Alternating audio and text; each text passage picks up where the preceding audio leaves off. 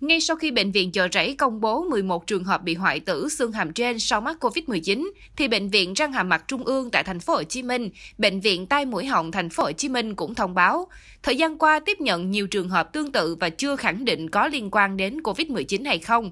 Nhiều chuyên gia y tế cảnh báo, đây là bệnh lý phức tạp, hiện chưa có phát đồ điều trị. Thống kê của bệnh viện răng hàm mặt trung ương tại thành phố Hồ Chí Minh, 5 tháng qua ghi nhận 16 trường hợp, các bệnh nhân có chung triệu chứng đau răng, đau hàm, sưng mặt. Những trường hợp phát hiện sớm, hoại tử chưa lan rộng đã được phẫu thuật, dùng kháng sinh từ 3 đến 6 tuần, sau đó được phục hình hàm.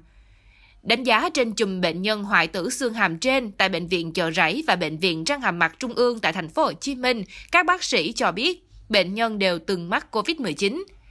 Theo giáo sư tiến sĩ Trần Minh Trường, Phó Chủ tịch Hội Tai Mũi Họng Việt Nam, nguyên Phó Giám đốc Bệnh viện Chợ Rẫy, những dấu hiệu cảnh báo gợi ý của các ca bệnh là tình trạng đau nhiều trong thời gian mắc COVID-19 hoặc sau khi đã có kết quả âm tính với SARS-CoV-2. Bệnh nhân sẽ bị đau ở vùng đầu, mặt, thậm chí triệu chứng đau có thể rất mơ hồ, chỉ khu trú tại vùng trung tâm của đầu. Những cơn đau sau khi khỏi COVID-19 thường âm ỉ. Khi đi khám ban đầu, hầu hết bệnh nhân được chẩn đoán là bị viêm xoang,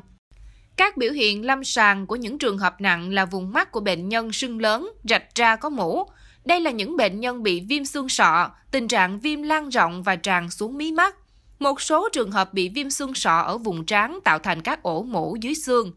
Nhiều bệnh nhân bị hoại tử xương hàm, cấu trúc xương bị phá hủy, khiến cả hàm răng lung lay như sắp rụng. Người bệnh đau nhức, dù đã nhổ răng cũng không hết, mất chức năng nhai của hàm răng, hơi thở có mùi hôi, Dự kiến tuần sau, Sở Y tế thành phố Hồ Chí Minh tổ chức hội thảo chuyên gia để tìm hiểu nguyên nhân các ca bệnh hoại tử xương hàm trên trong thời gian qua.